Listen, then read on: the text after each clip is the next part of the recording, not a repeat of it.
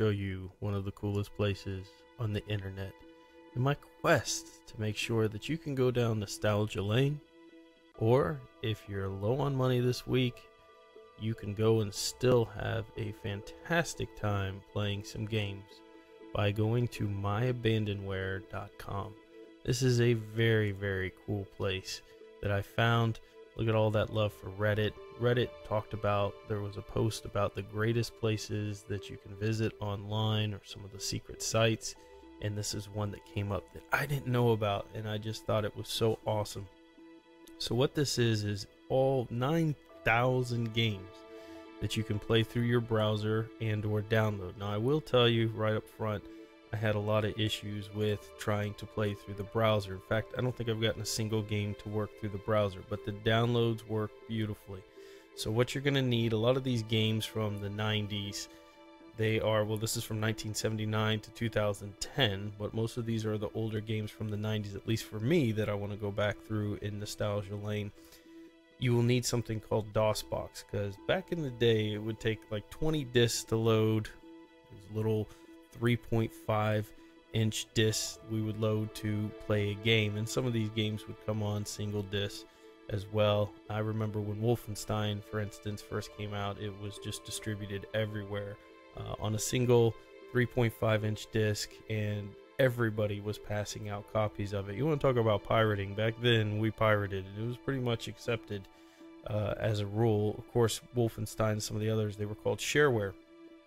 And so, back then everybody was playing these games and there's a ton of nostalgia that came with them and they're really really solid games. There's some fantastic games out here. So if you're finding yourself low on money or you want to go down nostalgia lane this is where to go.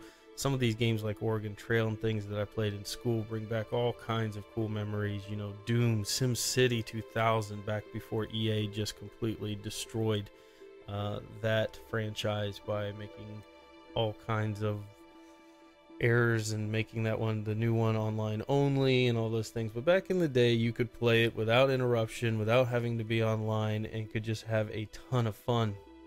And so they list out the top downloads here on the site. You can search by name, year, platform, genre, theme, publisher, developer. Uh, absolutely huge amount of games. In fact, everyone that I could think of, including Laser Squad. Now, Laser Squad for me was just one of those amazing games that I played with my cousin all summer long. All we would do is eat ramen noodles and play Laser Squad. Like from the moment we woke up, uh, we would play Laser Squad against each other, and it was just an absolute blast. So, what I want to show you though here is how you can download these games and run that emulator. So, the first thing you're going to do is go to DOSBox.com and you're going to download the emulator here from SourceForge based on the version of the operating system you're using. So this works on Linux, it works on Mac, and based on the game, it'll tell you if it has the version for Mac, for Linux, for DOS, etc., or for Windows. And you can just download this. Once that's downloaded and installed, you can come here and you're going to find the game that you want. So let's look for a game that I'm going to want to play. We talked about SimCity 2000. So let's do that. Came out in 1993, also available Amiga. And let's go ahead and download this. So you can play in your browser here, or you can download. Again, every time I do the play in your browser, and I've tried Chrome and Mozilla, it just doesn't work. Um, but we can try here and see what happens, uh, just for the sake of science and it'll load the game and it'll go through kind of a DOS emulator online. And it may be because Reddit's given it that hug of death that none of these games are working right now. It may be absolutely overwhelmed. Uh, so if you try in a few weeks, it may work just fine. But pretty much, this is the experience that I have here. It just kind of will either sit or go to the DOS screen and nothing happens, which is no big deal because we can emulate this ourselves and just download it. So go back here and download. And what I did is just created a folder on my hard drive called, uh, I used my D drive, D colon DOSBox EMU. You could create a folder and name it whatever you want. So you want the DOS version here. So I'm going go ahead and download that. I've got the manual too, which is pretty cool. It's going to come in a zip file. So we're going to open that and I'm just going to unzip this file in that drive. So let's go extract all and nope. I thought I had it saved, but apparently I do not. So let's go to my D drive here and we're going to go to the box emulator, DOSBox EMU that I have, and I'm going to click select folder. So you're just going to navigate to the folder that you created. You can have it on your C drive. In my case, I have it my D drive. It doesn't matter where you have it, and just extract that. So now you can see that it's moved it over into this folder here. So perfect. So now we have now we have our sim city and it looks like in this case instead of moving over the folder it moved over all the files into the main folder which is fine so you can see when you're looking that this is your application this sc2000 which would be your executable file so we're going to go into DOSBox now and the thing that you have to do here is mount C drive because it thinks no matter what it's going to run off of a C drive it's creating an emulation here so you're just going to type mount C no matter where you put it and then you're going to put d colon in my case slash DOSBox emu. That's where the file is. And you can see it says drive C is mounted as local directory. So now I can do, uh, just type in the C drive.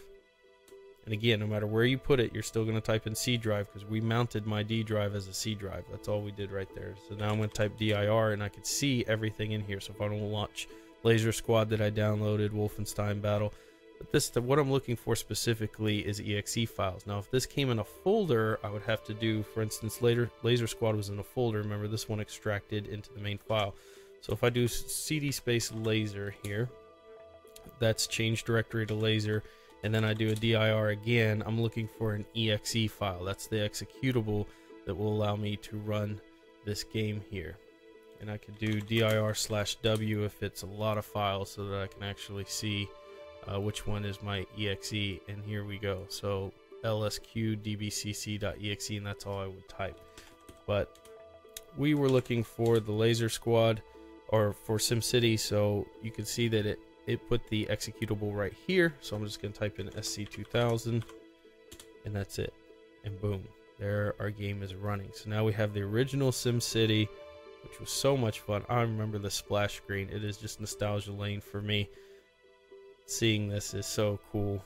Uh, you can hit alternate enter and it will move that into full screen for you.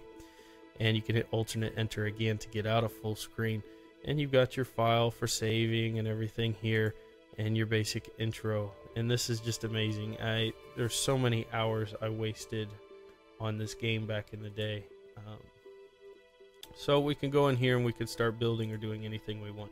But this just shows you how awesome this my abandonware is. It is just an incredible, incredible site. I absolutely love it. I love that you have so many games that you can go back and play that you love for free.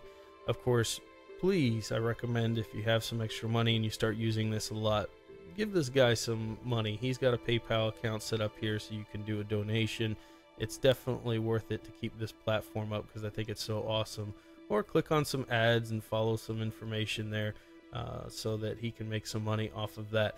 But you've got an incredible 9,000 games to play through. There's a ton of fun to be had here. So if you're on a budget and you're trying to figure out, you know, what games to play this weekend, check out myabandonware.com. I hope you guys enjoy it. Leave your comments below if there's another site like this that you love or if you've tried this out and some of the games that give you that nostalgia feeling.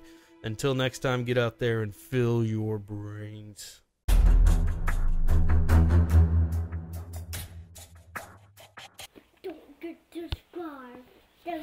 The video.